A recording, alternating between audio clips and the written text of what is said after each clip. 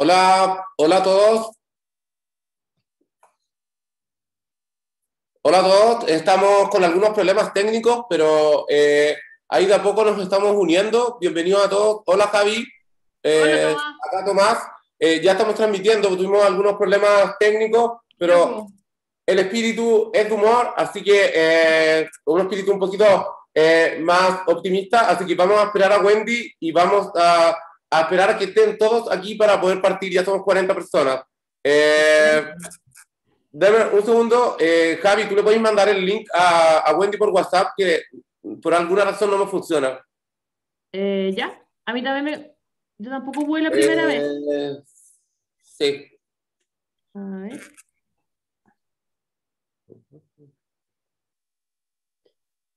A ver si la tengo. Saludarlos a todos los que están llegando. Ya tenemos 50 personas eh, en la sala. Invitarlos a ir a buscar un vasito de agua, a refrescarnos, porque esta charla eh, busca un poco ser una brisa nueva, eh, ser un refresco para el mundo gris y un poco el mundo difícil que nos ha tocado vivir durante la pandemia. Así que bienvenidos a todos, a reírnos, a ser optimistas. A, a la alegría y a la, a la vida de colores, eh, porque tenemos la oportunidad de iniciar una pandemia eh, de alegría, por decirlo así. No sé si estamos ya... eh, yo tengo un problema y no me funciona el WhatsApp por la web, entonces no le puedo mandar el link a, la, a las chicas. Eh, Ya le mandé a la Wendy. ¿Se la mando al grupo también? Eso, pues, lo puede mandar al grupo. Creo que es, a ver. Vamos, a, vamos a esperar, pero vamos a reírnos. Eh, quizás ahí la Javi se puede contar un chiste, no sé. Yo soy Es pésimo. lo peor que pueden decir en la vida.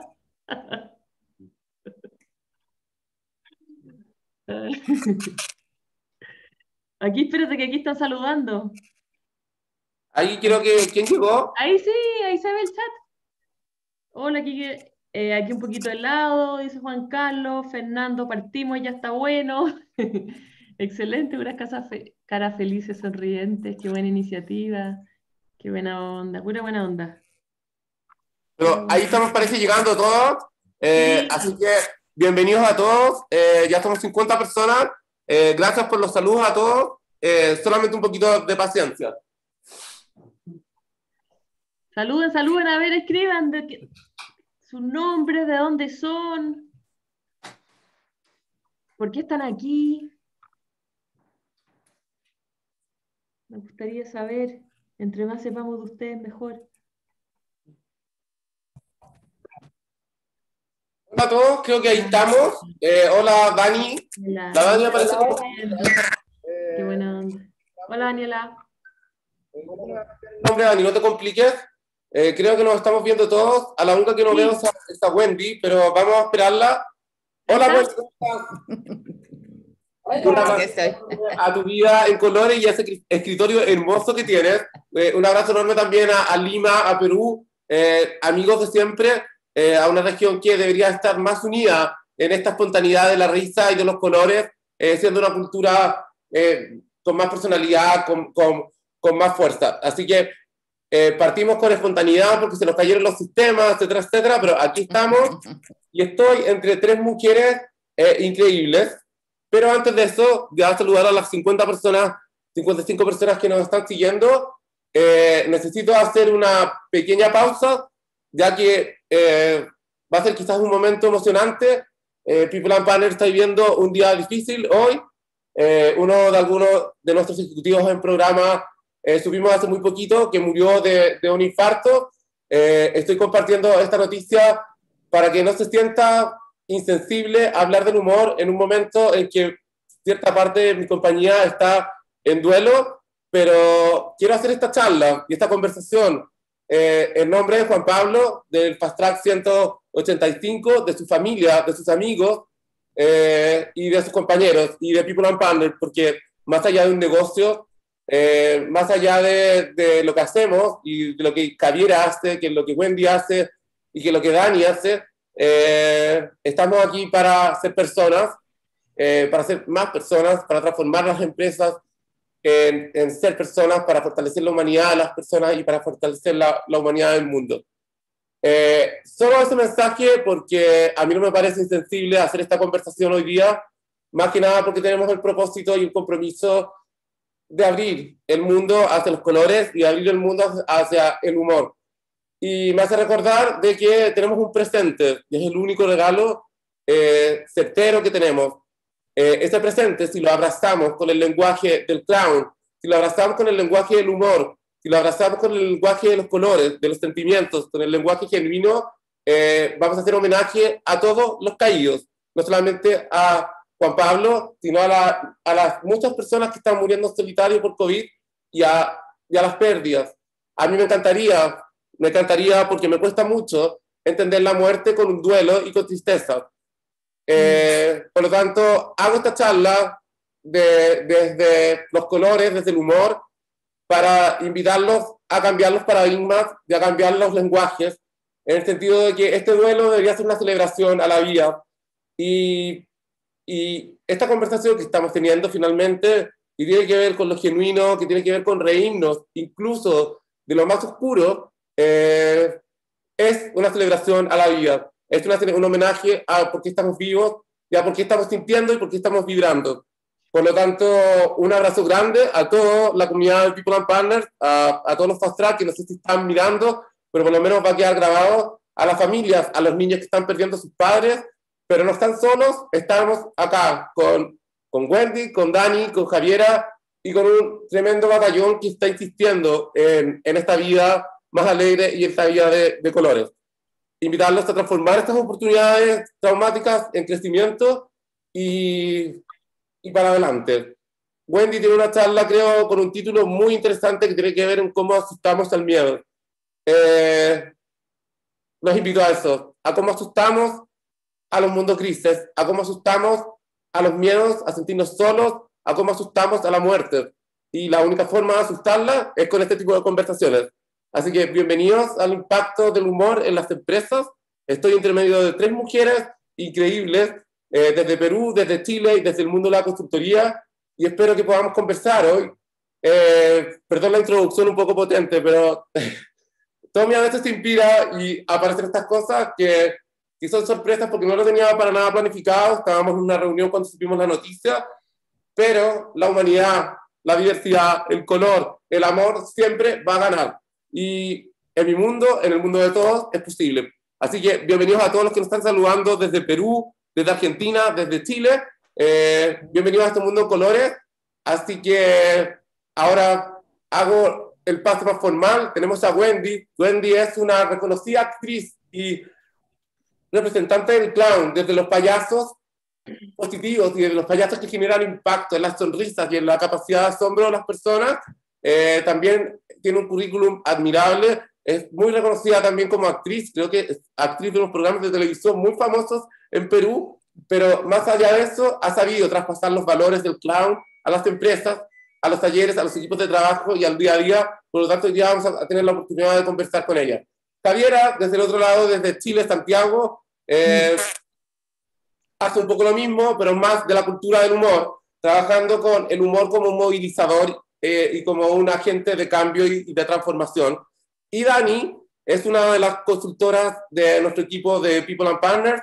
Eh, me atrevería a decir que tenemos una diversidad de consultores tan interesante que hoy día Dani está aquí porque hasta sus rulos eh, transpiran alegría y transpiran buenas, buenas, eh, buenas enseñanzas. Pero estamos aquí como personas para compartir, así que bienvenidos.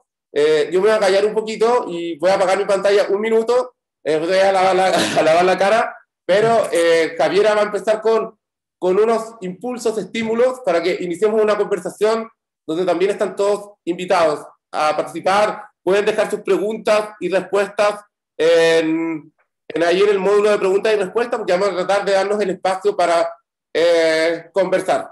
Así que, nuevamente, eh, bienvenidos a este mundo de colores. Eh, Dani, eh, Javi, perdón por el speech, pero aquí estamos. Por favor, por favor, esto es realidad y está muy bien, está muy bien, porque el humor también es parte de esto, ¿no? Eh, hola, hola a todos, a todas. Yo soy Javiera Correa, yo soy directora de, de Comedy Corp, una empresa que, una consultora que em, formé hace algunos años con un poco el espíritu de poder llevar el humor a instancias laborales.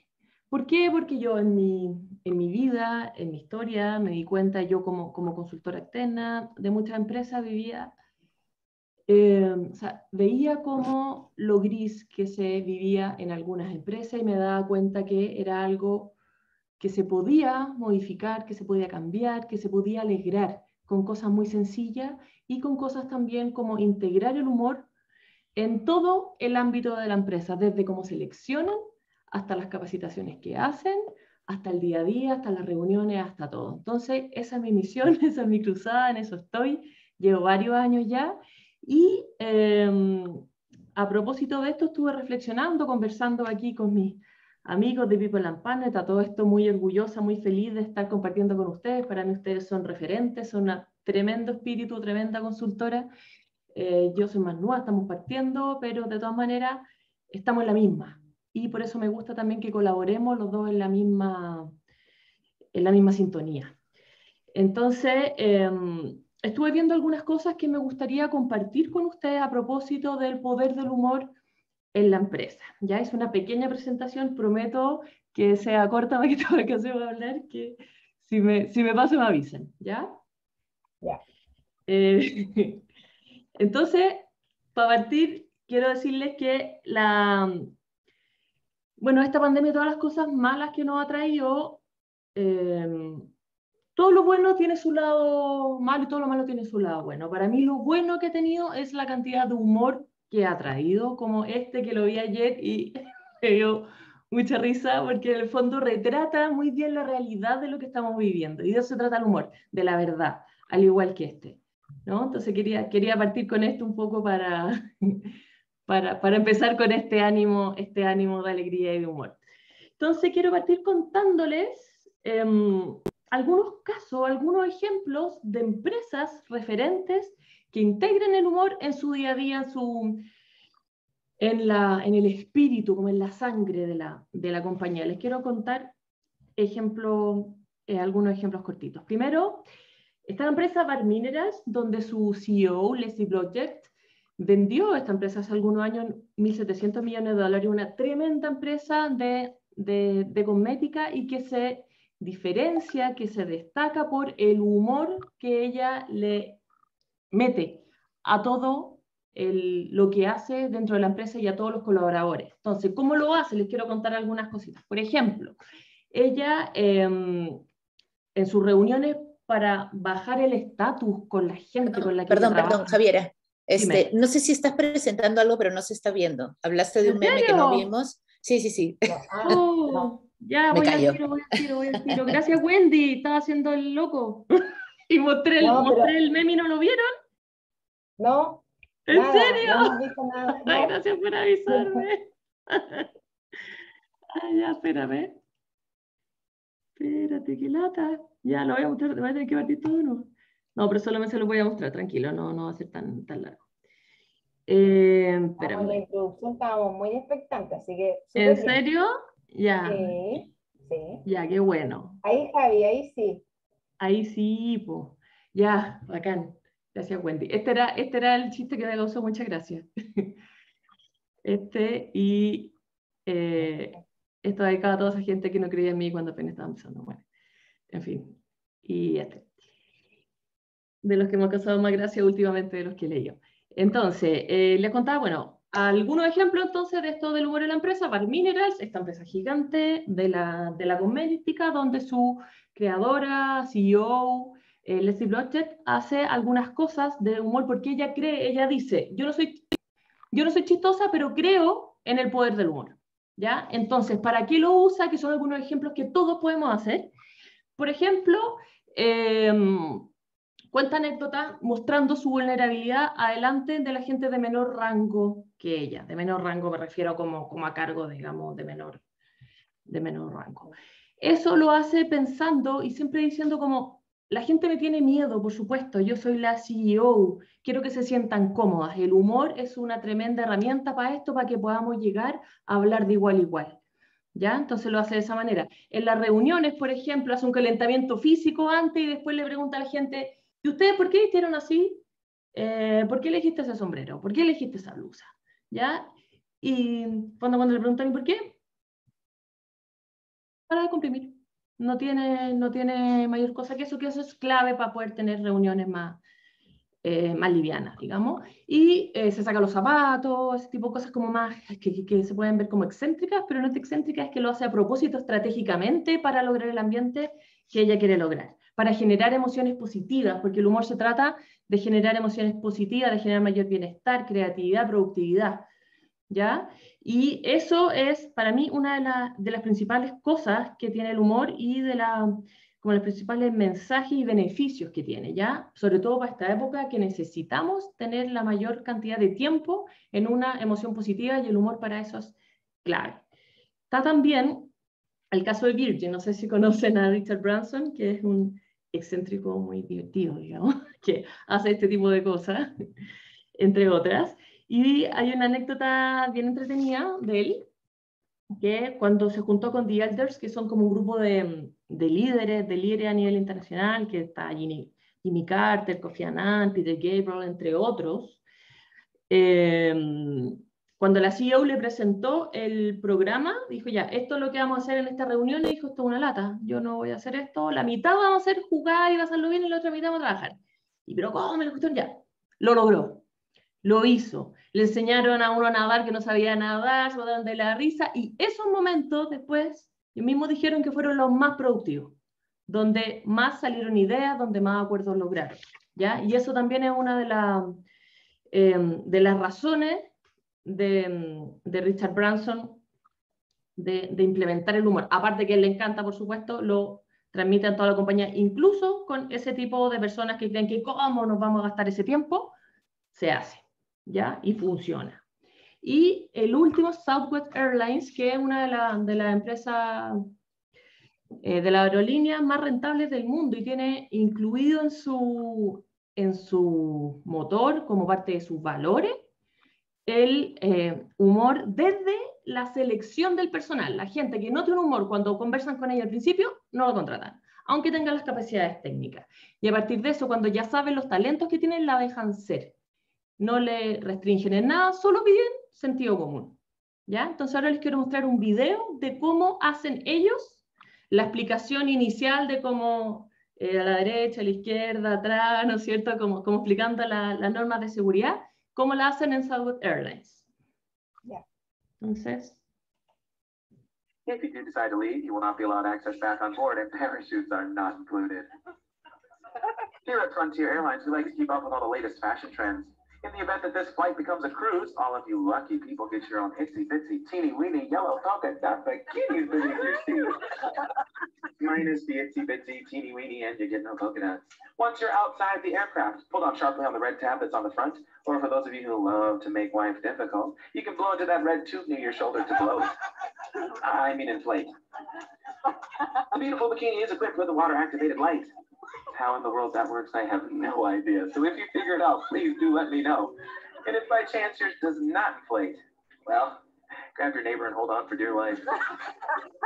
the location and use of life vest for your child that shows the most potential is located in that safety information card. If needed due to a loss of cabin pressure, four oxygen masks will drop from a compartment over your head.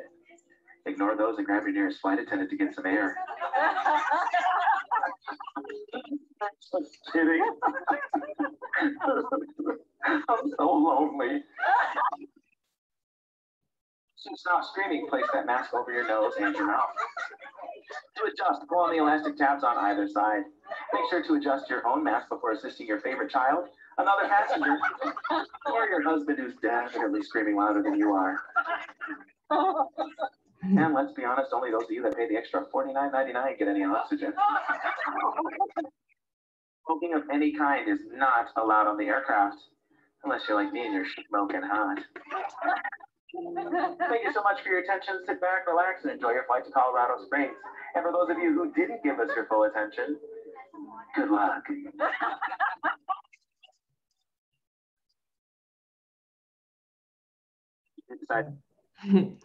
esto es como tú, sé, como, si nosotros lo vemos como, ¿cómo se atreven a hacer eso? ¿Y por qué no? Lo que genera es engagement, que la gente vaya, que le encante comprar esos tickets, porque imagínate que entretenido que te, que te, digan las instrucciones de esa manera. Entonces también el humor es algo que uno puede hacer para afuera, no solamente dentro de la organización, sino que también con los clientes. ¿Ya? Eso también es un, es un mensaje importante de, de esa web. Entonces, ¿qué tienen en común todas estas organizaciones? Primero que todos sus colaboradores tienen un alto nivel de bienestar, son comprometidos, lo pasan bien en los estudios, están muy altos en, eso, en esos índices, son equipos cohesionados, personas creativas, comprometidas, productivas, empresas muy exitosas, estas tres de ejemplo, y líderes y colaboradores auténticos, que eso es algo que a mí me interesa mucho relevar, el valor de la autenticidad y cómo el humor puede influir en ser más auténtico.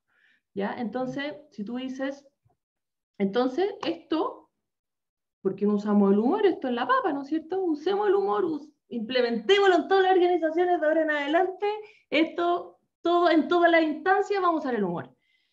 Ya, pues, pero ¿qué es lo que pasa? ¿Por qué no lo usamos?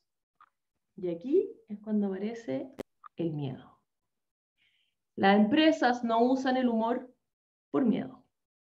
Eso es lo que yo he visto, eso es lo que he leído, eso es lo que creo que, según mi opinión personal también, es. Existe una, una paradoja que estuve pensando hace unos días entre el miedo y el humor que se las quiero, se las quiero compartir. Porque el humor da miedo y el humor mata el miedo. ¿Ya?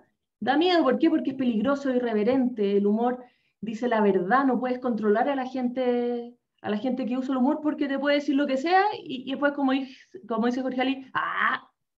Y como que se anula, pero igual lo dijo y era verdad seguramente. Si te dolió porque era verdad. ¿ya? Entonces, irreverente, tú puedes decir cualquier cosa con humor. ¿sí? Por eso existe mucho ahora, sobre todo la comedia, los comediantes que pueden decir las cosas que el resto no puede, ¿ya? Porque le dicen en un tono de humor. Eh, es difícil de controlar la gente, la gente graciosa también, ¿ya? Eh, hay mucho miedo a que te pierdan el respeto. Esto pasa mucho con los líderes, que no, si yo en el fondo soy simpático, digo un chiste, se van a subir por el chorro, no me van a respetar. Eso de partida ya está absolutamente eh, comprobado que al revés. En Stanford ya lo estudiaron y se dieron cuenta que los líderes que usaban el humor eran incluso más de un 20% más respetados por los colaboradores que los que no.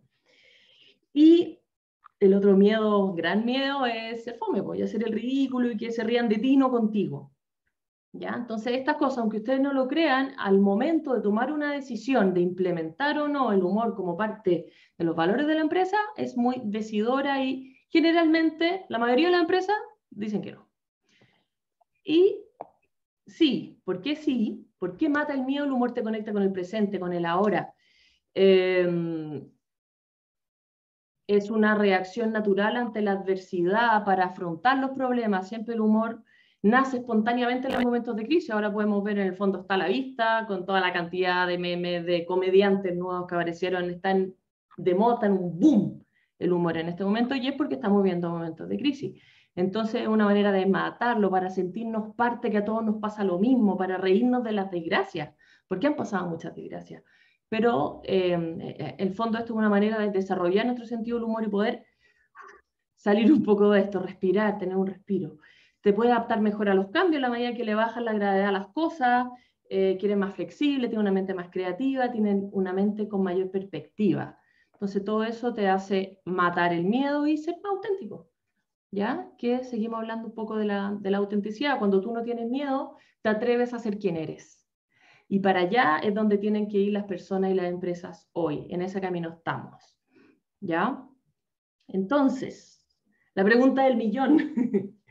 ¿Cómo desarrollamos el humor en la empresa? Bueno, si ya dicen que sí, si ya, se, si ya están convencidos, sobre todo los líderes que son los que, los que deciden, ya sé que esto es para ustedes, cómo desarrollar el humor en la empresa, implementarlo, es, primero, no matando a la gente, sino que teniendo claro que el humor es un arma de doble filo.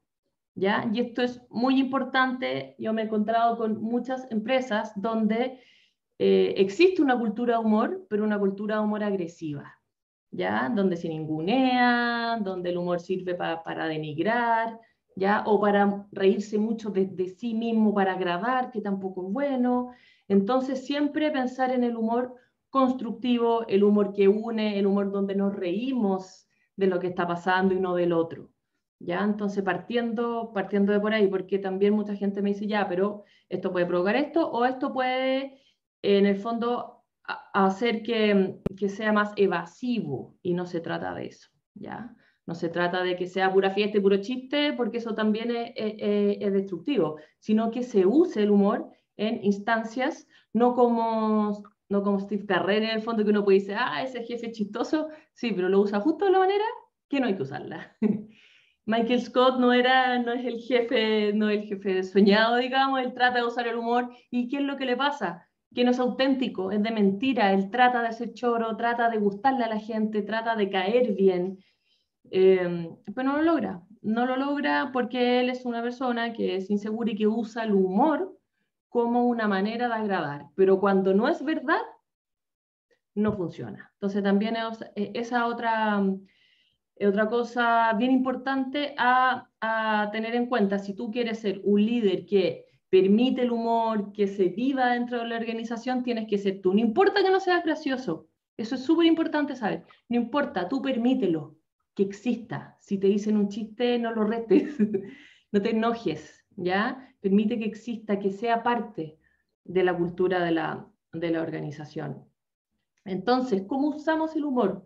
Bueno, nosotros desde nuestra, desde nuestra mirada, desde, desde Comedicor, ¿no es cierto?, usamos el humor de manera estratégica, el diseño de las intervenciones que realizamos en las empresas, pero como un lenguaje, o sea, la manera que nosotros nos relacionamos con el resto, en la manera que entregamos em, los conceptos, los contenidos, las charlas, los talleres, va incluido el humor. ¿ya? No son stand-up comedy, siempre nos preguntan, ¿ustedes hacen stand-up comedy?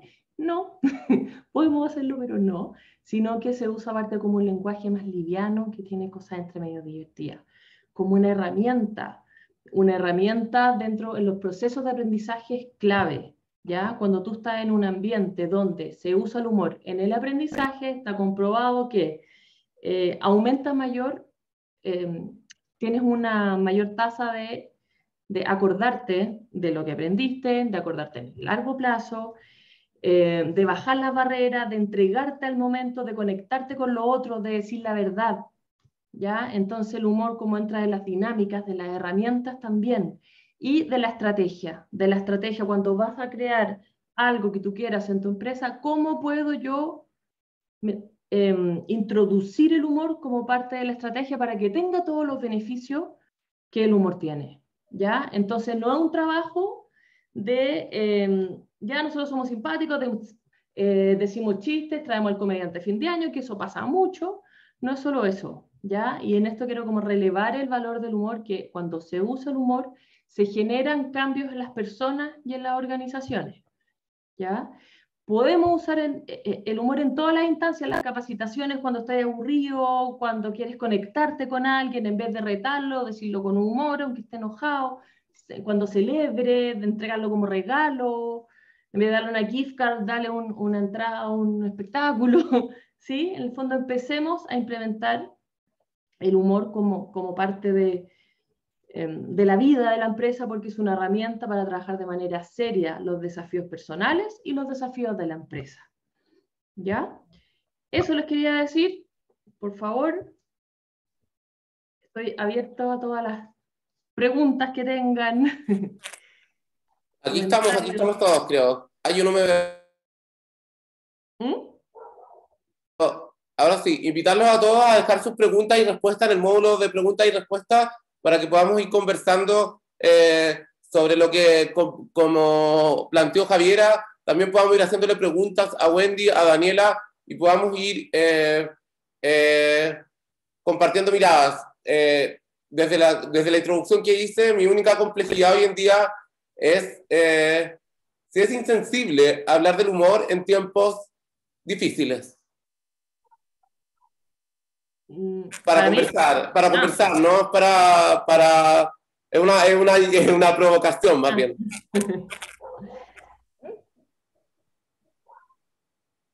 ¿Se escuchó, no? ¿Sí? Sí, se escuchó. No sé si Queremos saber si es una pregunta abierta que estás poniendo aquí para que nosotros empecemos a hablar acerca de eso, ¿no? ¿Eso es? Sí, bueno. Creo que sí. Claro que sí. Eh, oye, Wendy, te puedo hacer una pregunta y es un poquito linkearlo con lo que está diciendo Tomás. Eh, o sea, el humor para mí claramente es algo que uno puede entrenar en las personas, por algo tú tienes, digamos, tú haces esta, este desarrollo dentro de las organizaciones en distintos ámbitos a través del humor. Y lo que quería preguntarte un poco, como lo que ha pasado últimamente con la pandemia, etcétera, ¿cómo ha sido esta, esta apertura de parte de las empresas hacia, digamos, hacia recoger o hacia recibir el humor dentro de ellas. ¿Sí? A ver, yo daba talleres a empresas desde el 2005 hasta que empezó la pandemia. Perdón, me equivoqué nombre, yo soy así, discúlpenme. Se lo quería hacer a Javiera, pero bueno, eh, Wendy. Ah, dale, dale, dale, dale, dale. Javiera, responde. ¿Me podría repetir la pregunta? ¿Me podría repetir la pregunta, por favor? ¿Cómo, entonces tú me estás preguntando cómo lo han recibido las empresas específicamente. durante el periodo de la pandemia, que es lo que justo está diciendo Tomás, que es como en periodos complejos, ¿no? Cómo, cómo uno puede absorber esto y cómo se puede entrenar. Porque me parece una temática súper eh, linda, humana, eh, y que nos conecta con nosotros y con lo mejor de las personas. Exactamente. Esto em, Mira, hemos tenido mucho más trabajo que antes de la pandemia, lo cual es, para nosotros es excelente en el sentido de que esto se está como entendiendo que el humor funciona y sirve para esto. Eso nos gusta mucho, ya nos están pidiendo en el fondo, pues ya qué podemos hacer porque la gente está estresada, el humor, bacán, somos una herramienta, también está el mindfulness, también hay un montón, ¿ya? Pero nosotros creemos en el humor porque funciona, nos ha funcionado. Em, ¿Qué resultados vemos? Vemos em, en los procesos más largos, se ven como, principalmente cómo van cambiando las relaciones entre las personas, que son relaciones más auténticas, porque logran, tú cuando usas el humor, ya logras conectar con el otro, te estás riendo lo mismo, ya tienen cosas en común y algo bonito, ¿ya? Em, principalmente eso y, principal, y, y, y también el tema de, del uso de la, que ahora es clave, de la, de la creatividad, de la capacidad de resolver problemas. Cuando tú usas el humor principalmente antes de procesos creativos, como un brainstorming, no puedes decir ya, eh, ahora las mejores ideas, por favor, y si se, se equivocan, los reto. Es al revés, por, cuando, y, ya, ya, ya hay estudios también comprobados que cuando se expone a la gente humor previo a la, la resolución de problemas, incluso se llega a duplicar los, eh, la, la, resolución de, de, desafíos creativos. Entonces, eso, bueno, eso también es algo que hemos visto que pasa, que ocurre. Y también, obviamente, bueno, los niveles de, de estrés pues, que bajan. Esos son más momentáneos, pero si se logran hacer procesos más largos, empiezan a perdurar porque ya empiezan a desarrollar su sentido del humor. Y ahí están los ejercicios que les da y, la, y la, las herramientas que ellos empiezan a, a desarrollar. Y esa es la idea. ¿no? Que no sea como un spot, sino que procesos. Sí, por supuesto que sí. ¿Y tú, Wendy? Ahora sí. Ahora sí, sí. Wendy, ¿no escucháis? Perdón, estaba mirando las preguntas que estaban haciendo. En el, ah. Hay preguntas en, el, en, el, en la caja de preguntas. Ah, aquí están, sí lo que te está diciendo en el fondo, cómo desde lo, en México, cómo ha sido el, lo que tú haces con el efecto de la pandemia, de lo que estamos viviendo todos, todo el planeta. En México no tengo la menor idea, te puedo decir en Perú. En Perú, en Perú este, Acá, bueno, yo no estoy dando talleres para empresas porque los talleres que doy yo tienen, o sea, están conectados demasiado con el clown, entonces eso exige una proximidad física, este, mucho juego, mucho reírse y, muy cerca, y entonces no, no encontré la manera de, de, que el taller tuviera la misma fuerza que tiene cuando es en presencial, hacerlo en virtual, ¿no? Lo que sí he hecho muchísimo y que subió así fue conferencias.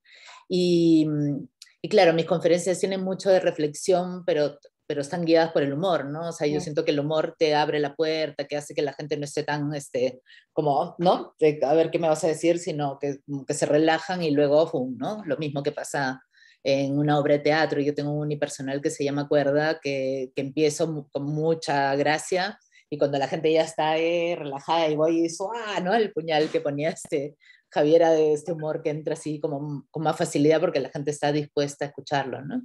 Eh, tomo lo que decía Tomás sobre el humor en, momentos difíciles, ¿no? Este, cuando es un tema de muerte, por ejemplo, nosotros hemos trabajado en hospitales en, con Bola Roja, un proyecto que tuve durante 15 años, hasta el 2016, y es muy loco, ¿no? Porque no te imaginas, por ejemplo, payasos en un hospital, como no te imaginas payasos en una empresa, ¿no? Eh, o en una zona de desastre donde acaba de haber pues, un, un gran terremoto como hubo acá hace algunos años y fuimos con los payasos, este, entonces es como y que, o sea, te queda en la cabeza como que qué pasa ahí, ¿no? O sea, o qué pasa cuando vas a una empresa. La primera vez que fuimos a clownear una empresa, entramos medio asustados porque no sabíamos qué iba a pasar, nunca lo habíamos hecho así, ¿no? O sea, que no hubiera un evento donde la gente estaba sentada en un sitio, sino entrar a las oficinas y entramos como, que nos sirvió, ¿no? Porque estaban en una oficina tipo estos laberintos, que, que son como paredcitas chiquititas, y, comenzábamos a soplar burbujas que se iban apareciendo, entonces la gente estaba trabajando y de repente era, ¿qué es eso? ¿no? Y, y, se asomaban y alucinamos porque parecía que hubiéramos ido ahí todos los días, ¿no? O sea, nos recibieron como con una facilidad que de verdad nos sorprendió muchísimo, ¿no? O sea, fue fácil, o sea, no hubo ni un poquito de resistencia a que estuvieran estos payasos ahí, porque además llegábamos como llegamos al hospital, ¿no? Que no es que, ah, jaja, ya llegué, sino ¿no? Vas midiendo, o sea, creo que el humor también se trata mucho de tener este criterio de darse cuenta cómo está la situación, cómo están las personas y entrar en el mismo nivel para luego subirlo, ¿no? No es llegar a, jaja, este, o con la muerte, ¿no? Ahora también, o sea, ¿cómo hablas de eso? O llegar como payasa a un paciente que me dice, cuando le pregunto, oh, acá estabas, te estoy buscando hace rato, ¿no? Y me dice, este, acá pues esperando la muerte. ¿Qué le contestas? ¿Qué haces ahí? ¿no? Entonces, si él quiere hablar de eso, es porque está listo para hablar de eso. Mm. Ah, no me digas que la muerte va a pasar por acá. ¡Oh! ¿no? Y ¿sabes a qué hora va a pasar? ¿no? Y, y, a dónde nos llevará? Y yo estoy pensando que cuando yo me vaya, me voy a encontrar con mi papá, con mi mamá, con mi perro, con mi exnovio. ¿Tú con quién te vas a encontrar? Entonces, y de repente estás hablando de ese tema porque es desde lo ligero, ¿no? no, a veces nos asusta, ¿no? Eh, decía Javiera también, nos asusta ciertos temas o cómo tratar esto, cómo tratar lo otro, pero si viene de allá es porque la persona ya está lista, ¿no? Para tratar un tema así. Este, eso.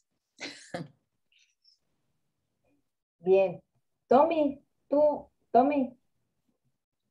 Esto me parece que no, no. Estoy aquí, estoy aquí. Lo que pasa es que en paralelo eh, mi introducción generó algunos, algunos impactos, pero eh, estoy aquí escuchándolas. Eh, más que nada quiero eh, invitarlos al público a hacer preguntas. Hay algunas preguntas acá en el, en el módulo de preguntas y respuestas.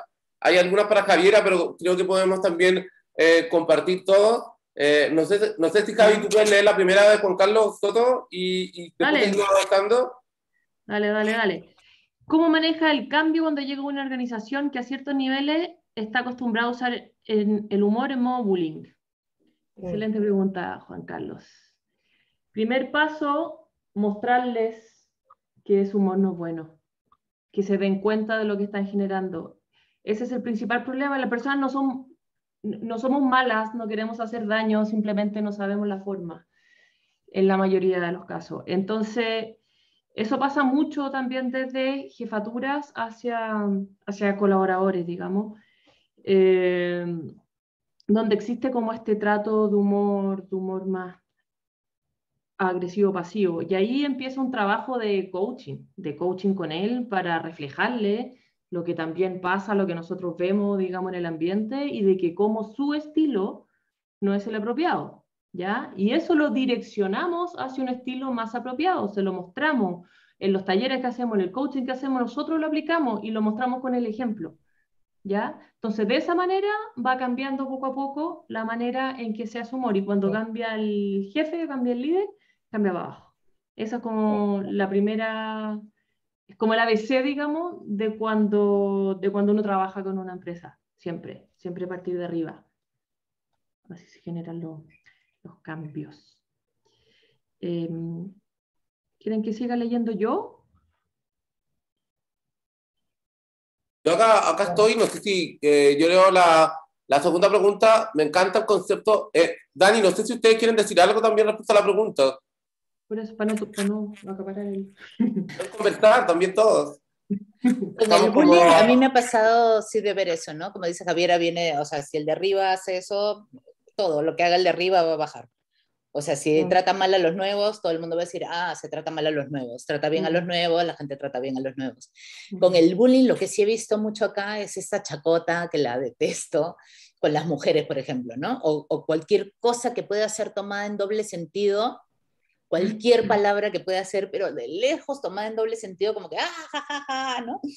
Y me ha pasado estar en varias empresas que las mujeres tienen mucho miedo de hablar porque es como, o sea, tienes que estar pensando en que tus palabras, ninguna puede ser asociada con doble sentido y entonces las tienes a todas amarradas, ¿no? Y me ha pasado cuando, cuando doy talleres así que la tengo que frenar en una, ¿no? Pa, yo soy bien brusca para eso, ¿no? O sea, como no me gusta nada cuando pasan esas cosas, freno en seco y me veo que las mujeres es como, ah, se le puede decir una cosa así, sí, o sea, no dejen que esto pase porque, o sea, porque parece como que todos ya aprobaron, ¿no? O sea, tú llegas y te das mm. cuenta que todos ya están de acuerdo con que así es y que esas cuatro personas siempre se van a burlar y entonces hablan pero con miedo, ¿no? Y algunas que se atreven y hay otras que no hablan pero de ninguna manera para que no pase. Este, y, claro, y hay que em, ver quién está arriba, ¿no? O sea, seguramente desde ahí empieza todo el problema y hay que ir arriba, ¿no? A cambiarlo ahí. Yo, eh, que podía comentar de, de, eso, lo que pasa es que a mí me pasa que el, que el humor eh, en Chile es un poquito como castigador, ¿ya? En términos como que somos una cultura que los chilenos nos reímos poco, acostumbramos como a estar más serios, queremos parecer eh, profesionales y que en realidad la sonrisa, hay un, hay un dicho que yo lo escuché desde chica, que es como la risa abunda en la boca de los tontos. Mm. Entonces, nadie quiere parecer tonto ni nada por el estilo. Mm. Eh, y la verdad que uno crece desde chiquitito con eso y yo creo que eso ha sido como, como que se ha inundado transversalmente, sobre todo como en las grandes ciudades, si uno va a provincia, eh, la, la, gente es más relajada, siempre anda con, con, una, con una disposición eh, como abierta eh, y, muy cálida y muy llana y ser ellos mismos y ser auténticos en ese sentido. Eso, eso es lo que yo he visto. Y me pareció súper interesante lo que acabáis de, comentar, eh, Javier, en relación como a las empresas, que también si uno, esto es la empresa, pero también si uno baja un poquito más hacia los niños, el bullying también está súper presente en los niños. Entonces, y es reírse del otro, ¿no? Reírse, hacemos humor, pero hacemos humor en relación al otro y no en relación a que seamos un humor distinto, digamos, un humor, digamos, de, de nosotros o reírnos de nosotros mismos. A mí me encanta reír porque eh, por muchas razones soy súper volada, eh, eh, bueno, lo que sea, cuando bailo me río y, y, lo paso bien y me comunico con una sonrisa también con la otra persona, ¿ya? O sea, yo me siento más relajada, me producen muchas cosas. Hemos visto que la, la, la risa, digamos, el, el, tener un estado anímico, eh, la risa ayuda mucho en ese sentido, en, la parte, en, en, en, la parte muscular, en la parte respiratoria, cardiovascular. Bueno, ¿para qué decir todas la, las hormonas de la felicidad? Entonces siento que hemos quitado de nuestra vida como profesional el humor. Entonces la cosa linda, la cosa, los colores que hablaba Tomás, la risa. Y, y, nada, yo siento que hay que ser súper conscientes de, de cómo abrazar eso, de ser uno mismo en ese sentido. Y, y, y así soy.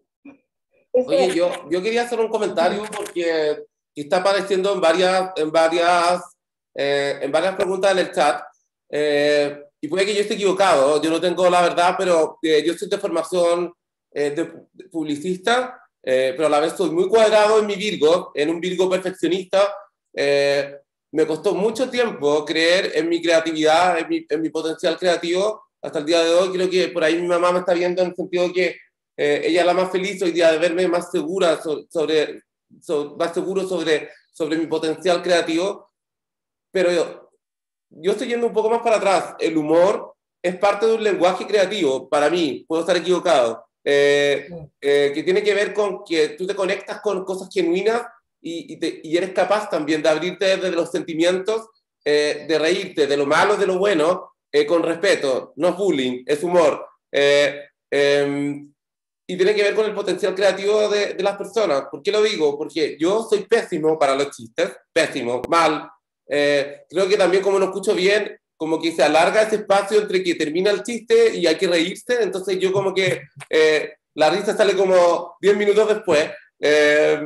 Entonces, pero sí me considero una persona desde el punto de vista como de la alegría, que puedes conectar lo genuino, lo, emocional, muy fuerte para movilizar ciertas cosas que tienen que ver con el mundo del trabajo. Cuando hablo también de la, hablo también de la creatividad. Nosotros desde People and Panel tenemos una unidad que se llama People Color, que tiene como objetivo, en el fondo, utilizar las disciplinas artísticas como movilizador de cambio o desarrollo de personas. Eh, y cuando digo disciplinas artísticas, pasa desde el humor, porque hicimos un circo en algún minuto, hasta eh, la música, la pintura, la magia, etcétera, etcétera. ¿Por qué cuento esto? Porque están saliendo preguntas ahí que también tienen que ver con la diversidad. La diversidad desde el punto de vista de cómo tú te enfrentas al humor. Porque yo, no entendiendo los chistes, me río de eso. O sea, yo no, yo no me considero humorista, pero también tengo la capacidad de reírme de eso. Cuando hablo de diversidad, hablo de que todas las personas hoy día, desde la edad, desde los 10 hasta los 50 años, desde los roles, desde la asistente o la persona que, que puede estar, no sé, apoyando en la limpieza, hasta el gerente general corporativo de una organización, tienen posibilidades de conectarse con su yo creativo. Eh, y cuando eso se junta, se junta en el mismo nivel porque suele pasar que siempre las actividades de desarrollo de talento se hacen como en un segmento y, y no integrando todos los segmentos. Cuando se juntan todas estas, estas instancias y se entiende la diversidad del otro desde el punto de vista no de lo que le falta, sino de algo distinto, diferente que, que tiene que aportar, se transforma en una bomba atómica para todos, eh, desde el punto de vista del desarrollo personal. En People Color nos pasó muchas veces que eh, era muy divertido, porque estaba el gerente general y estaba también una persona de, de, de, los primeros niveles, por decirlo así. Y claro, debido a las decisiones creativas que se tomaban en conjunto, el gerente general de repente quedaba en la última fila del, del grupo de baile y esta primera persona, que en el fondo eh, tiene menos responsabilidades hoy día, quedaba como en, en primera fila. Entonces, también se producen eh, cambios en el ego desde el punto de vista de, eh, de, de estas posiciones. Pero cuando una persona acá me dice tengo 50 años y las personas de 50 años quizás tienen menos posibilidad de conectar el humor con lo corporativo, esto también es entretenido, porque tiene que ver con eh, cómo hacemos ese puente eh, más interesante y, y, cómo, cómo acortamos esa brecha. Cuando definitivamente te sale todo más fácil, es menos entretenido. Entonces, es mucho más entretenido cuando quizás tienes 50 años y no sabes unir las cosas, porque el humor y las disciplinas artísticas permiten unir, permiten encontrarte contigo, permiten sacarte la corbata y saber cuál es el personaje verdadero que tienes adentro. Eh, y creo que el humor tiene como, como esa capacidad de... Es bien paradójico, porque acá Wendy me, quizás me va a retar, pero el clown generalmente tiene una vestimenta, una nariz, un maquillaje. Pero finalmente cuando te conectas con el clown, también te conectas con tu yo interior, no con el disfraz, por decirlo así, eh, sino con el, el, el, niño que está dentro, por decirlo así. Entonces, eh, de repente desnudarte de ese personaje corporativo, eh, de esta corbata, eh, de, esa, de ese discurso, eh, de eso que tenemos que estar como en oficinas perfectas o con fondos perfectos, y la Dani también me va a retar, es opción de cada uno. Yo, yo hablo de lo genuino. Em, cuando destapas todo eso, empiezas a encontrar tu propio yo y este encuentro con tu propio yo es muy poderoso. Entonces, solamente quería hacer este punto porque no solamente se trata de humor, sino yo creo que un paso más atrás que se trata de como conectarte con, con, tu, con tu yo creativo, por decirlo así.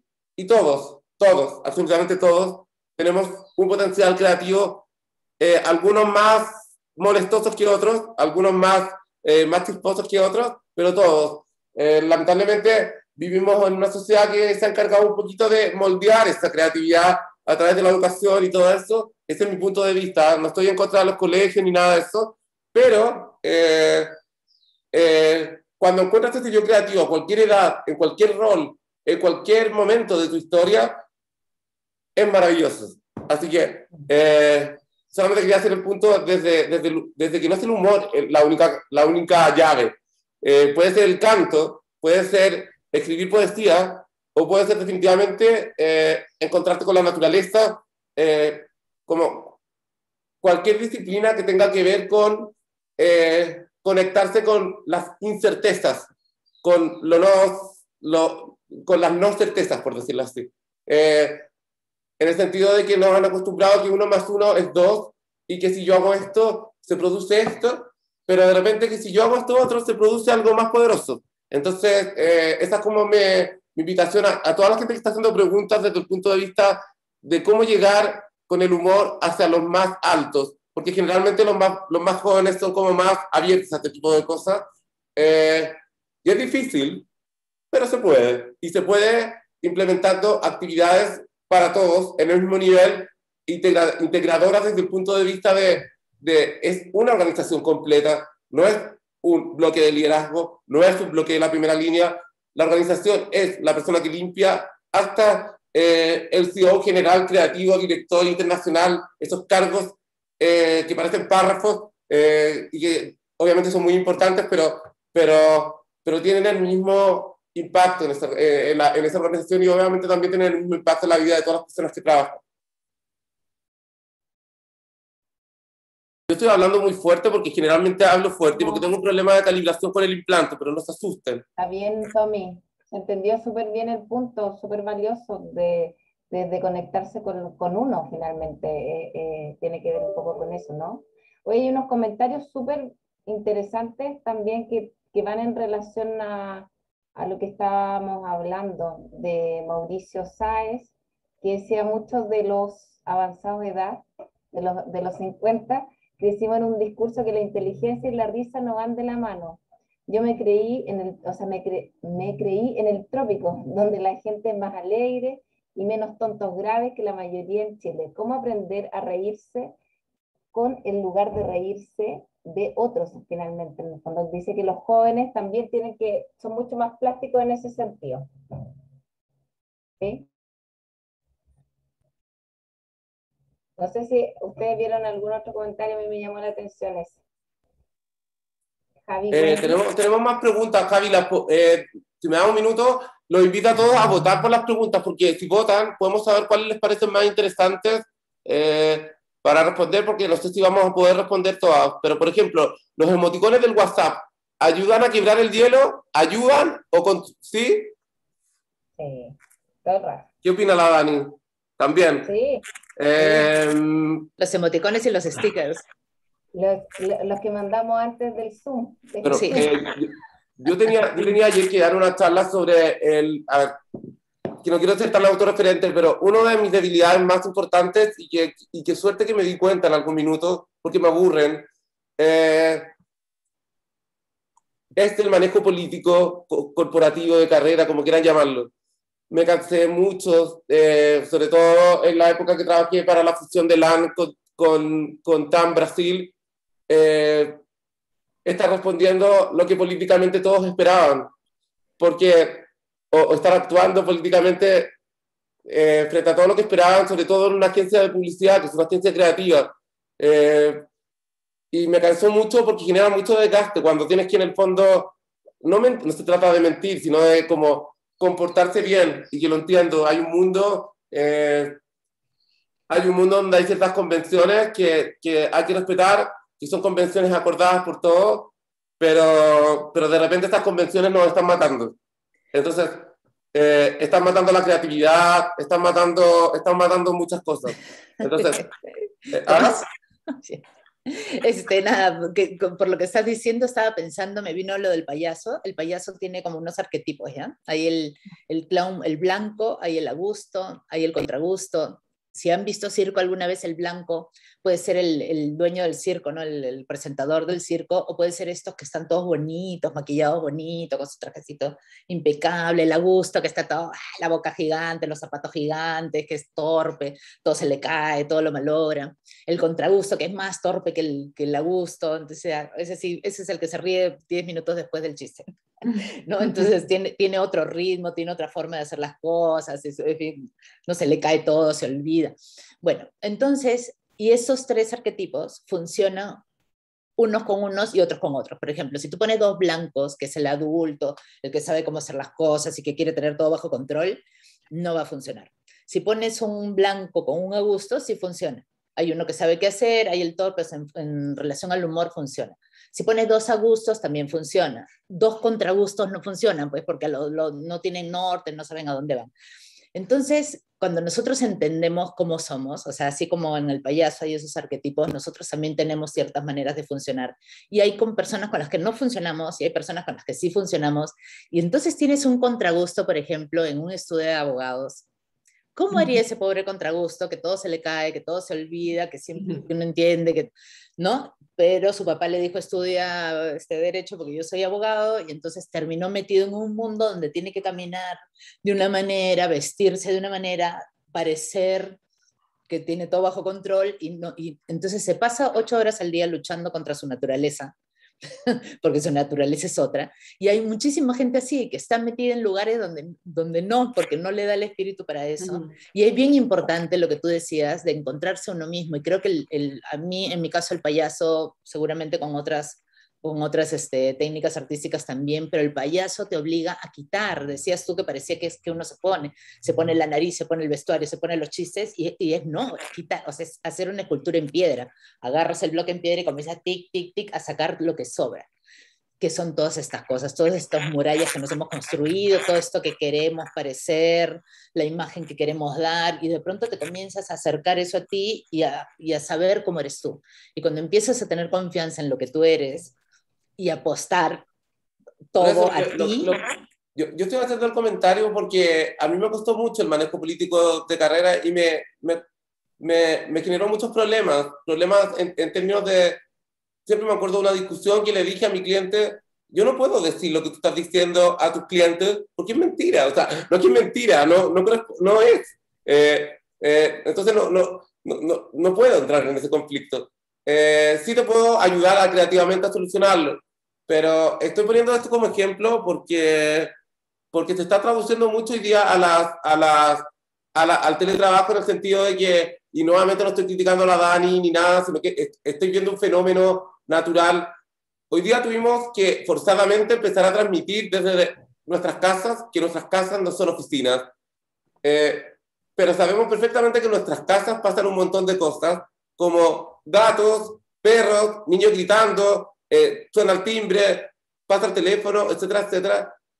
Y hemos, estamos empezando a tratar de mostrar este, este, este escenario donde estamos, en estas casas, empezar a transformarlo como en, en algo corporativo que no es. O sea, es una casa, es un espacio donde tú vives y pueden ocurrir miles de cosas. Y cuando ocurren esas miles de cosas, eh, son normales, es parte de la vida, es genuino. Y, esto, y esa genuinidad, e, esto genuino, cuando tú tratas de apartarlo, eh, en vez de ayudarte, te, eh, te, te, aleja desde el punto de vista de que eres tú, con tu valor, con tu persona, con tu casa atrás, etcétera, etcétera. Sé, sé que hay personalidades y personalidades. No estoy diciendo que esto tiene que ser como obligatorio para todos, sino que eh, es una casa, no puede estar pasando otra cosa, no, no es un, no es un, no sé, no es un show. Entonces, así hay algo que me gusta de la pandemia, es que destruyó o bajó, o como quieran decirlo, se cerraron los teatros corporativos, estas oficinas donde todos tenemos que ser como, como, si, fuéramos, eh, como si fuéramos perfectos, donde nadie llora, donde nadie se emociona.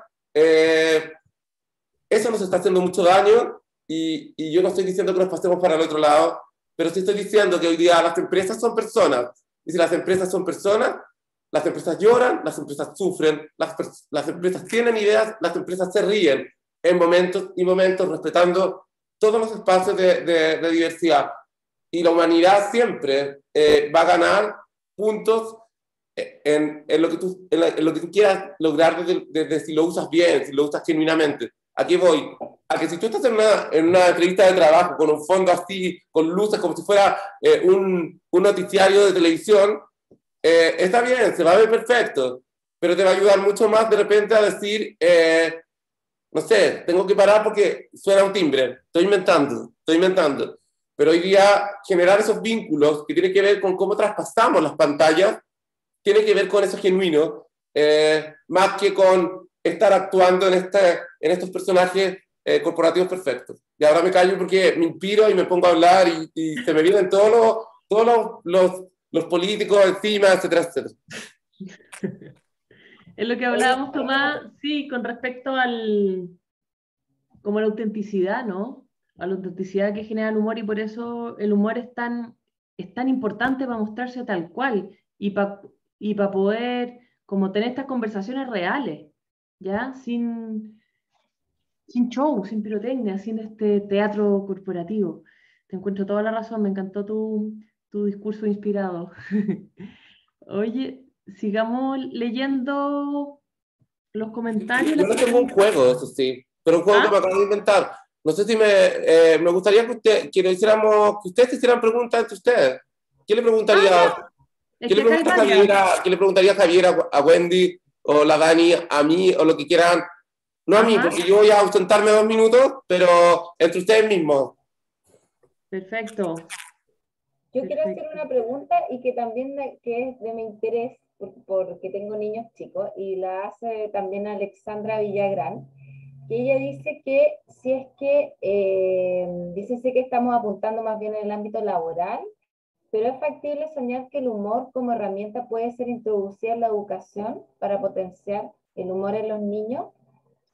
Te- Encuentro bonito poder tocar ese punto. No sé, Javiera, Wendy. Yo tengo un sueño frustrado que no logré hacer, que lo quería hacer con Bola Roja, este, Ah. que era hacer esos talleres que daba, cuando daba talleres de clown, una cosa muy fuerte que pasaba era que toda la gente que estaba en el taller, o sea, eran dos días de taller, seis horas cada día, terminaba y me decían, no puedo creer que quiero tanto a estas personas que las acabo de conocer ayer porque el humor, o sea, integra a la gente de una manera espectacular, pues porque están todos en la misma situación, o sea, hay juegos donde todos fracasan, donde se sienten ridículos, o sea, pasan un montón de cosas entre ellos y se siente pues como un, un clan al final, ¿no? Una tribu, así que ha pasado por un montón de cosas en esos dos días. Y mi idea era hacer como lo que hacíamos en el hospital, de ir, este, no sé, dos veces por semana o una vez por semana a la misma sala con los mismos niños y estábamos ahí, no sé, media hora y era pues ahí, ahí, ahí, ahí, ahí. Yo decía, ¿qué pasa si hacemos lo mismo, pero en un colegio, ¿no? Entonces visitarlos Mm. con algún no sé, para valores, por ejemplo, o no sé, enseñar algo, pero ir como constantemente. Y pensaba que si hacíamos talleres de clown, pero claro, ahí, ahí el problema viene es como quién va a dictar tantos talleres de clown en tantos colegios que existen, porque no es fácil enseñar clown.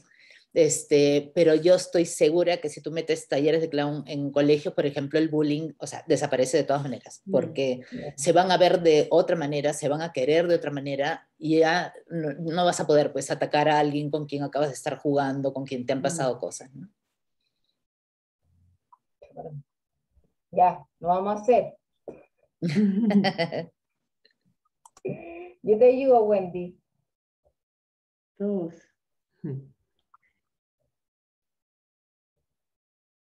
¿Qué les parece la risoterapia? Pregunta Jaime. El manejo de las emociones. Le pregunto a la actriz, ¿esto también sirve? La actriz eres tú, Wendy. Yo creo. Sobre la risoterapia, yo tengo sentimientos encontrados, ¿ya? Porque este, cuando empecé yo a trabajar como clown hospitalario, justo se dio el boom de la risoterapia. Y entonces cuando salían en los medios de comunicación acá del trabajo que yo estaba haciendo con Bola Roja, lo vincularon inmediatamente a risoterapia y nos comenzaron, porque apareció la risoterapia, nos comenzaron a entrevistar. ¿no? Entonces yo dije, pues, ¿será? Pues no, porque no, no sabía bien qué era. Y después cuando me he enterado más de qué era, que era, o sea, son terapias que usan la risa para todos los beneficios que ya hablamos para la salud, este, pero es como reír, o sea, ríete, no importa cómo. Entonces yo decía, oye, pero en el hospital, entonces, ¿para qué nos entrenamos tanto? Pongámosles un video de una película graciosa si lo que quieres es que se rían. ¿Para qué tanto entrenamiento? ¿Para qué va a ir un payaso? Contémosle chistes, o sea, hagamos eso, porque es reírse aunque no tengas risa, o sea, ja, ja, ja, ja, ja, ja, ja, ja, ja, o sea, finge la risa y eso te va a producir cosas en el cuerpo. Entonces, ahí me hizo, le pregunté a Patch Adams también, porque justo nos conocimos en el cuatro, tres por ahí, y justo seguía esta cosa de la risoterapia, le dije, oye, eso de la risoterapia me dice, yo no hago eso, me dice, porque no, no estoy yendo ahí para que se rían, o sea, no es el único Mm. objetivo, ¿no? Entonces me parece bueno, de hecho hay hospitales donde tienen salas de risoterapia y la gente va y les ponen cosas para que se rían, porque eso les hace bien a la salud. Yo, mi trabajo yo no lo siento asociado a la risoterapia porque porque no siempre va a ser de risa, o sea, yo tengo que ver qué está pasando y conectarme en el lado donde yo me pueda conectar, no necesariamente para que se rían, ¿no? Este, no, es, no es mi meta lograr una risa, es conectar con la persona y acompañarla y que se pueda ver a través de mis ojos en toda su hermosura y quitando las circunstancias, ¿no? O sea, eres una persona, no eres una enfermedad, no eres un preso, no eres alguien que se está muriendo, eres una persona que está pasando por esa circunstancia. Y creo que el payaso del, del estilo al menos que yo trabajo hace eso, ¿no? Que como yo me quito todo, te puedo ver a ti también sin, sin tu circunstancia y ahí conecto contigo la autenticidad de los dos. ¿no? Uh -huh. Yo estoy de acuerdo también, a mí tampoco nunca me ha cerrado mucho el, el concepto de la, de la risoterapia y nosotros no lo hacemos. Son distintas cosas por lo que entiendo, ¿no es cierto? ¿Mm? Son distintas cosas por lo que entiendo. La risoterapia, claro, claro. Pero son distintas. ¿Cómo? Claro, claro. Eh, claro, la risoterapia te hace como forzar la risa, ¿no? Eh, sí. para, para, nuestra visión, para mí, es eh, cómo tú te conectas de verdad, ¿ya? No desde solamente la risa en sí, sino cómo tú desarrollas tu propio sentido del humor, es distinto, es, más, es profundo. Para mí la, el humor es una herramienta de, de transformación personal. O sea, el clown, yo he hecho talleres de clown, es impresionante, es power, es fuerte, es duro, ¿sí? Es duro encontrarte con tu clown porque te aflora lo, lo, lo, que menos te gusta tuyo y eso es lo que tiene que transformar en clown. Bajo mi punto de vista, no sé, yo soy una, una aprendiz, Wendy aquí en la, en la experta. Entonces, es como el humor liviano, no, el humor es rudo, es profundo, es eh, como, no sé, hay gente que lo usa de, de terapia, a mí no me gusta tanto hacer como esa como esas definiciones, como el humor es terapia, pero realmente es terapia. O sea, en mi vida a mí me ha servido mucho. Creo que es terapéutico, o sea, no es una terapia, pero sí. es terapéutico. Exacto. Pero eso si tú tienes un trabajo contigo, ¿no? Entonces yo tengo sí. un trabajo conmigo que vengo haciendo hace un montón de años, cuando voy a un taller de clown, boom, boom, boom, boom me, o sea, me pone el espejo tan cerca el payaso, que salgo con mucha información sobre mí, que yo trabajo Sí. solo en mi casa, o sea, yo no espero que el maestro de clown me arregle los problemas, pero sí me sirve porque me, a la hora que tú juegas, te sale todo, lo lindo, lo malo, lo bueno, lo feo, si es que juegas de verdad, ¿no? Lo, el otro es jugar, pero con el pie en el freno, ¿no? Y apenas empieza a notar una cosa que a mí no me gusta de mí, un freno, ¿no? Ya no juego, ya no me, no me entrego al juego. Entonces, que ese es uno de los obstáculos de las personas cuando llevan clown, ¿no? Que es como, quiero que veas a, hasta lo que se ve en mi Instagram, lo, Claro. lo, que, lo que no pongo en mi Instagram no quiero que nadie se entere, ¿no? Sí, pues en el humor se ve mucho la gente. Yo, en, o sea, en 10 minutos en un taller tú puedes saber más o menos quién es quién. El que se muestra, el que no, el competitivo, el que se quiere ver bien, el que le da susto. Es claro, entonces uno dice, estos juegos que hace esta gente, así como, ya, está como pasándolo bien, no. O sea, en ese momento, en el calentamiento, en, en lo- en los juegos como de congelamiento, de calentamiento, cuando realmente sabes quién es quién y cómo va a guiar, va a guiar la intervención, el taller. Claro, y Eh, el juego, mientras más frustrante sí. sea, más información sale. Por supuesto. O claro. sea, le pones juegos eso que no logras, que no lo logras, y comienza la gente a ¿no? Y los ves cómo funcionan bajo presión, ¿no? Entonces hay los que animan al, ya chicos, ahora sí, vamos a agarrarnos de las manos, y ahora sí lo vamos a hacer, ¿no? Hay otros que se cruzan de brazos en esta porquería, ¿para qué es? Ah, no, no, no, ¿qué es Sí. esto? No entiendo. No, y que tiran la energía para abajo, y digo, seguramente esta persona ya no en el juego en su vida, cuando está bajo Siempre es presión, son los que tiran la energía para abajo, el otro es el que tira la energía para arriba, el que Mm. culpa al otro cuando se equivoca, pero no a él mismo, o solo se culpa a él, pero no a los demás, se queda callado para no ser el que malogre, ¿no? Que malogren los demás, yo prefiero, Mm. acá no Mm. estoy. Entonces cada uno como que se coloca en un rol, ¿no? Sin darse cuenta. Y claro, después les digo, oye, fíjense si no les pasa eso en la vida, ¿no? Cuando están bajo presión también les pasa eso. Y todo el mundo, chun, chun, te da darte información, claro. No se dan cuenta que están hablando tanto de ellos, que se están mostrando tanto. Eso es lo bueno también, es lo bonito. Claro. Y la trampa. No es como una terapia, claro, la terapia tú vas así, estás como, "Mm, dije esto, ah, miró así, ¿no? Ah, ¿para qué me he preguntado esto? Pero estás jugando y no te das cuenta. ¿No te das cuenta vos? Estamos Claro, y sale, sale, sale, sale la información. De verdad. Es verdad, es verdad. Eh, aquí había, yo había leído una pregunta que era buena. Espérame. em, ah, eh, lo de Fernando, me encanta el concepto de humor como herramienta que pueda generar engagement, pero como puedes comenzar a incorporar este concepto en organizaciones que durante tantos años han sido más cerradas, o dicho incorrectamente, formales, donde se cree que no hay cabida al humor. Hay alguna que no se puede, o que, eh, fondo, yo como, como nosotros como, como consultora externa es muy difícil entrar, pero la, la, la, consigna sería, o la recomendación es, de a poco, de a muy poco. Es difícil entrar con algo, con algo power, con un taller de humor, por ejemplo, una empresa que, que, que son más cerrados. Entra a poco, entra a poco. Eh, eh, eh, empieza a incorporarlo, empieza a tener embajadores de humor. Siempre hay gente simpática, gente que le gusta el humor. Esa gente dale, mm, dale tareas, ¿ya? Como por ejemplo, que tengan una reunión y esta persona eh, cree una dinámica, una dinámica para empezar la reunión, rompa el hielo de alguna manera. Eh, son cositas chiquititas para que se empiece a hacer parte el humor de la, de la cotidianidad. Y luego ya empiezas con cosas más, más grandes, más, más profundas. ¿sí? Eso es como a mí me ha funcionado con empresas que han sido más, más formales, ¿ya? O más duras. Las la empresas, hay gremios que son así, por los gremios mineros, o los más de hombres. Y si no, también esperarnos un ratito, espérate un ratito nomás, porque cuando yo empecé a dar talleres para empresa, mira, la primera empresa que me contrató, yo fui nomás, dije, ya, sí, claro, y no, ni pregunté, no pregunté nada, ya fui, además era en otra ciudad, y me dicen, ya, el, el, taller es mañana de 8 de la mañana a 5 de la tarde, y ahora en la noche tienes una reunión con el gerente para que te explique qué necesita. O sea, ni siquiera había preguntado eso en mi primer taller, porque era, estaba tan emocionada que ni nada. Y me reúno con el hombre y el hombre me dice, era un casino, y me dice, hay, hay una palabra que no sé cómo se dice allá, chuncho. Chuncho es como gente que tiene, es una palabra fea, pero es como para alguien que tiene vergüenza, que, que le da como, que no habla Ah, mucho. chuncho, claro. Chuncho, Ujú. ya. Entonces, este, y me dice, ay, es que est- estos son unos chunchos y no quieren vender las fichas, entonces yo quiero que Mm. tú este, hagas que ellos vendan más fichas. Y yo casi me muero, dije, ¿qué hago acá? A mí que me importa que vendan fichas, ¿cómo va a hablar así de su persona? Horrible. Entonces, ah, me quería matar. Y encima, antes de irme, me dice, y ojalá que no se duerman. Y yo, ¿cómo se van a dormir? Le digo, el taller es súper divertido. ¿no? "Mm". Y me dice, no, es que salen de trabajar a las seis. ¿Qué tal? Que todas esas personas trabajaban toda la madrugada en el casino, salían a las seis y a las ocho tenían taller conmigo hasta las cinco de la tarde. Mm. La explotación total, pues. Y yo, y además lo hacía para que vendan más. O sea, ni siquiera era para que descansen, para que se relajen su fin de semana, no era. Bueno, esa fue la primera experiencia y dije, nunca más vuelvo a, a dar talleres para empresas en mi vida, no quiero, no quiero, no quiero. Me sentía cómplice de ese hombre. Bueno, pasaron los años, entonces yo me aferré a las cosas que yo quería hacer, ¿no? Entonces Mm. cuando me, me decían, quiero que vendan más, yo le decía, no, no, no voy a hacer que vendan más, yo lo que hago es esto, esto, esto.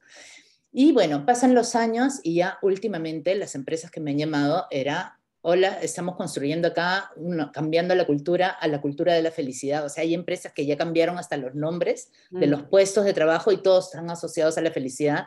Y lo que decía Javiera, ¿no? O sea, hay empresas que me dicen, ya no, no me importa tener gente, o sea, prefiero a alguien que vende menos, pero que no me, Mm. que no malogre el ambiente, que no molesta a los demás, que no, o sea, gente contenta, ¿no? Entonces, cada vez más cuando me llaman es para eso, ¿no? Quiero que estén bien, quiero que estén contentos, quiero que la gente se conozcan entre ellos, que haya un ambiente de, de- con más humor, con más alegría, con más amistad entre ellos. Entonces, hacen un montón de cosas en la, los viernes a las 4 que tienen su no sé qué y se van a la terraza de la empresa y les llevan comida y invitan a gente. O sea, cada vez hay más empresas preocupadas en sus Sí. personas, ¿no? No sé qué, o sea, algunos seguramente para que vendan más y están más felices venderán más, pero también hay los que están de verdad interesados en tener un ambiente de trabajo bonito dentro de donde pasas ocho horas al día, o sea, estás ocho horas con, o sea, pasas más tiempo con ellos que con tu familia, ¿cómo no esperar que ojalá se lleven bien todos, ¿no? Entonces creo que eso va cambiando y, y en las empresas gigantes, o sea, algunas que ha contado Javiera, otras, o sea, Google, ¿no? Este, entras a sus oficinas y, o sea, todo lo que hay ahí, empresas que dejan ir con sus perros para que la gente se sienta mejor, con sus mascotas, este, los juegos que hay, la- el ambiente, la decoración, o sea, ya todo eso, eh, o sea, va a tener que cambiar. Porque ahora, sobre todo los jóvenes, ya no están dispuestos a ir a, un infierno ocho horas por día, a ir a sufrir a un sitio, ya no están dispuestos. que sí, a nosotros sí, porque claro, nos, nos, educaron para eso, ¿no? Los colegios estaban para eso, ¿no? Para que fuéramos dóciles, sumisos y calladitos, hicieran todo lo que nos decían, las órdenes que nos daban. Ahora ya no, o sea, eso está cambiando súper rápido, ¿no? Entonces creo que que hay que esperar nomás un ratito, que las empresas están yendo a eso y las que no morirán, o sea, sí. Sí, pero ahora en general las empresas que... ¿Ah? Eso mismo que en relación a, lo que estabas diciendo, bueno, yo creo que hay un cambio notable, eh, sobre todo con la pandemia. Mm. Eh, porque, porque, claro, porque en el fondo, bueno, estáis trabajando desde la casa y además hay días que tenéis que ir a la oficina, las oficinas ahora están trabajando en lugares, digamos, Obviamente todos casi cowork, son raras las oficinas que están cerradas eh, y, eh, y, por lo que estamos viviendo nos está obligando a no tener que disfrazarnos para ir a las oficinas, ¿no es cierto? Entonces estamos siendo mucho más nosotros y conectándonos con, con lo que somos. Eh, Tomás tuvo que, que, salir, pues tuvo un problemita, Así que me pidió que empezáramos a cerrar. Yo no sé si quieren comentar algo más como, como punto de cierre o como algún comentario o pregunta interesante que les gustaría responder. Mm, a ver, a mí em,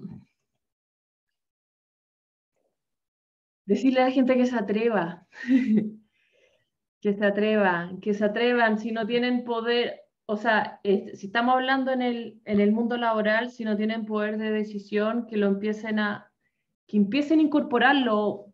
Pueden tener iniciativas, iniciativas pequeñas que van creciendo, que después otras ven que, oh, que entretenido esto y, y, y se sigue haciendo, que propongan, que los talleres que tomen no tienen por qué ser fomes. Yo cuando daba un taller o cuando yo alguien que un taller, primera vez que lo paso bien, ¿cómo primera vez si llevan 10 años en la empresa?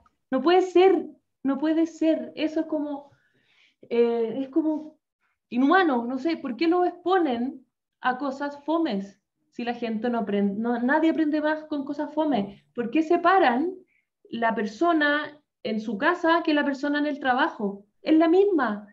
Le gusta lo mismo, se ríe igual, aprende más o toma más atención cuando algo es divertido. ¿Por qué lo hacen como fome? No, porque es formal, porque no sirve para nada. Una, una presentación con puro gráfico, con una voz plana, seria, no sirve para nada. Por favor, para nada. Nadie se va a acordar de nada, mejor mándenla por mail. ¿Ya? Si no van a agregar valor haciéndola simpática, entretenida, hablando con pasión sobre lo que están hablando, aunque sean los números que todos pueden decir, oh, que fome, pero si lo hablas con pasión, te van a escuchar, te van a entender y va a transmitir eso. Entonces, esas son como, son como no sé, pequeñas como em, verdades que pasan y que nadie las dice, que el jefe habla de la no sé qué, y tú como, ah, sí, el jefe dijo, así que tengo que poner atención y no le voy a preguntar nada porque van a parecer tonta, pero en verdad no se entendió, nadie entendió y se quedaron todos callados, porque nadie se atrevió. Entonces, eh, relajen, si, si tienen el poder de decisión, si ustedes son los que toman la decisión, por favor, incorporen algo, algo que tenga que ver con el humor. Eh, incorpórenlo en los procesos de selección. En Estados Unidos, la última encuesta, más del 90% de los directores valoran el sentido del humor en su gente. Y es obvio, porque hay gente que va a estar más dispuesta, que va a estar, que es más flexible, más creativa, eh, que va a hacer que el ambiente esté más entretenido, ¿no es cierto? Entonces es un aporte. Eh, se valoran otras cosas ahora en el siglo XXI, ¿no es cierto? La creatividad, como la, la, las habilidades que ya, que ya están descritas, pero falta el humor. Falta el humor, sobre todo en estos tiempos difíciles es clave tener una persona em, que esté como dispuesta a superar obstáculos, a estar en buena, a estar contigo, a estar comprometido, y eso lo hace muchas veces porque tienen humor, ¿ya? Entonces, es una, eh, eh, en fondo, dejar los invitados a que lo puedan implementar, em, ya sea por, por, sí mismo, ver con otra gente, contratar servicios, lo que sea, pero háganlo, por favor. Eso. Y yo por ahí también, por, por, esa línea, porque eh, decía, algunos se estarán preguntando ya, pero si no me salen los chistes, ya, pero si yo no, este, no tengo ese humor ya lo incorporado como para meterlo en una charla, o sea, por lo menos no hacer lo que todos hacen, porque por imitar esa cosa, ¿no? ¿Cómo se hace? Y entonces me pasó una vez, les voy a contar, que me, contrataron para, como payasa para ir a, una, a las 7 de la mañana a un sitio donde iban a salir los vendedores de un chicle Trident. Entonces, el discurso era, o sea, el evento se trataba de que les iban a explicar por qué tú podías no lavarte los dientes y usar ese chicle, ¿no? Porque tenía ciertas cosas, el chicle, qué sé yo. Entonces, me dice, hazlo, le digo, ¿y qué quieres que haga yo? Me dice, haz lo que tú quieras, solo quiero que se despierten porque después va a venir la experta a hablarle sobre las cosas que tiene el chicle y no sé qué. Entonces le digo, ya, ¿me puedes mandar el PPT de la experta para ver de qué va a hablar y a ver si cojo alguna cosa de ahí para mí? Y me manda el PPT y yo casi me muero porque era horrible, era, o sea, estaba lleno de palabras, lleno de palabras y cuadros y cosas y yo decía, lo va a leer, porque, o sea, ¿para qué pones una cosa así? o sea, ¿qué vas a hacer? Hablar, no puedes hablar de una cosa y la gente no va a leer otra y entonces era auxilio. Entonces lo leí y me costaba entenderlo, era como, por Dios, parece copy-paste de un libro complicado. Y lo desenredé, lo desenredé, lo desenredé y dije, ¿puedo hacer un PPT yo con mi payasa explicando la misma cosa pero como clown? Me dice, sí, claro, lo que tú quieras. Ah, ya. Entonces hice mi PPT y les hice el monstruo, que era, el, mira, hasta ahora me acuerdo, eso sí, hace como 15 años, el Streptococcus mutans, ¿no? Entonces que si te comes no sé qué y no sé qué, y viene el monstruo, y mi PPT, como yo no sabía hacer PPTs en esa época, era ¡ping! ¿no? un monstruo verde o una cosa pegada ahí, ¿no? Y, este, y comes este y este te sale, y después el chicle tiene sorbitol y xilitol, por favor. Y todas esas cosas las repetía y cuando terminé la charla les pregunté, ¿cómo se llama el monstruo? Todo el mundo, es Mutan, sí, decía, no puede ser. Y se acordaban de todo y lo entendieron de una manera muy simple, ¿no? Entonces, este simplificar, que a veces parece como ah, es poco importante si es simple, y no, o sea, estás llegando de frente a lo que la gente entiende. ¿Cómo te gustaría a ti que te expliquen las cosas? O sea, y ya, o sea, ahí era con humor, pero también puede ser en simple, o sea, creo que cuando das una presentación, tú tienes que desaparecer, o sea, no, porque hay mucha gente fijándose en sí misma, ¿no? Y cómo digo, y o sea, tu preocupación tiene que estar allá, ¿no? ¿Cómo hago que entiendan esto? ¿Cuál es la mejor manera de que, qué ejemplo puedo poner que sea con referencia a lo que esas personas tienen como referente?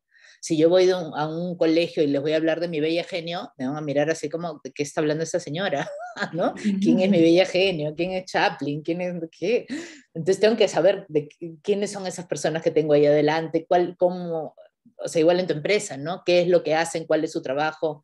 Este, ¿Qué referentes tienen? ¿Qué ha pasado ahí? O sea, algo que te, que te haga, que digan, ah, ah, sabe, ¿no? Sabe, sabe de nosotros, está como, estamos conectados, estamos en el mismo en el mismo idioma, ¿no? Y no alejarte, que es lo que a veces pasa por ese temor también a veces de, de no puedo este, ser simple o hacer un chiste porque me van a correr riesgo mi estatus, ¿no? Este, y es, como decía Javiera, todo lo contrario, o sea, te acerca a la gente de una manera donde puedes llegar mucho más fácil, dar indicaciones mucho más fácil, ¿no? Que estando en ese sitio de rey, ¿no? De arriba, que yo les hablo a mis súbditos para que hagan lo que yo quiero, este, te, te pone en otro lugar, ¿no? Mm. ¿Y, algún tips así como para poder empezar con eso? Es decir, eh, como, ¿cómo yo lo puedo agarrar? Así con algo, un, algo sencillo. Este, yo diría, o sea, practicarlo, ¿no? O sea, si ya voy a hacer una charla sobre esto, ya, a ver, hazla y dásela a tu amigo o a alguien con quien tengas confianza, a ver si lo entiende, que te, que te diga después, a ver qué entendiste. De repente no entendió nada porque no se entiende nada. ¿no? Este, claro, o sea, por practicar, ¿se entiende lo que estoy diciendo o no? No, estoy hablando nomás palabras. ¿Y desde lo cotidiano? Desde lo cotidiano, eh, algo muy, bueno, útil es em, generar instancias para pasarlo bien para, generar más, cercanía entre las personas, solamente para, para pasarlo bien. Em, en las reuniones duras, partan con algo que no sea de trabajo. ¿Ya? Eso es impresionante cómo baja y cómo te abre y cómo te acerca al resto y te hace decir más la verdad también. Cuando estás más relajada, decir más la verdad, sino decir que está todo bien y es mentira, porque no te atreves, ¿ya? Entonces, tú si la lideras, genera la confianza, preocúpate de eso, como lo hacía Leslie Loyer de, de, de, de Vermeers. Sácate los zapatos, pregunta, oye, ¿por qué te pusiste esa corbata? Habla de cualquier cosa, cómo estuvo el fin de semana, pero ojalá cosas entretenidas también, divertidas, ¿ya? Eso, eso para mí es bien importante. Y en las sesiones creativas, partirla, yo las partiría como obligadamente con humor.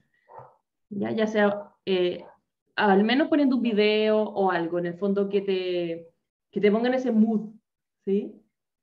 Que te ponga en ese mood, porque es el mismo mood creativo. Si finalmente el humor es creativo por sí mismo. Tiene que ser creativo, si no, no es humor, si no fome. Divertido. ¿No es cierto? Porque conecta cosas que los demás no ven, pues. igual que la, que la creatividad. El humor ve la realidad, tiene, eh, eh, genera muchas muchas conexiones, muchas conexiones. Y en las presentaciones, algo que siempre hago con la gente que, que yo trabajo como, como asesorando, es que la presenten, como decía Wendy, y buscarle la falla, buscarle como la torpeza, y esa potenciarla. ¿Ya? Por ejemplo, una vez me tocó trabajar con un gerente tartamudo. Y él, para él era lo peor, terrible, sufría, transpiraba, porque era director de una empresa grande. Y le dije, pero bacán, sácale provecho, ¿cachai? Entonces, dilo. O sea, primero ríete de eso. Cuando partáis, oye, perdón, que no sé qué, que me voy a demorar. No sé, cualquier talla que te, te salga bien. Y luego en la presentación. Eh, y si tartamudas, te puedes reír de lo que dijiste antes y va a fluir. Y después me dijo que impresionante cómo le cambió a él la, la, manera y al resto también, porque cuando tú ves a alguien que está tupío, que está tartamudo, que no sé, te pones nerviosa y te todo el rato pensando. está pasando mal. Chuta que puede hablar, chuta que, que se la cara tartamuda. En eso estás pensando, no es lo que te está contando. Te pones nervioso, se transmite, ¿cierto? Entonces, ¿qué importa? ¿Qué importa? Como eh, Si a ti no te incomoda, a nadie le incomoda. Ah, exacto, transparéntalo, transparéntalo. Y listo. Es, es tanto más simple. Finalmente. Eso es como, suelten. Simple. Verdad. Mm. Bueno, acá como parte de la casa les doy un millón de gracias por, por, esta experiencia que compartieron, por poner este tema tan importante en, y ojalá que se pueda propagar mucho más de lo que es y que pueda bajar no solamente a las organizaciones, sino a otras instancias, a los colegios, y en, en, nuestra vida diaria, ¿no es cierto? Que, que, también nos hace. Así que un millón de gracias, Javiera, Wendy. Eh, espero que, que hayan podido, digamos, nuestros, son 44 participantes, hayan podido aprovecharla súper bien.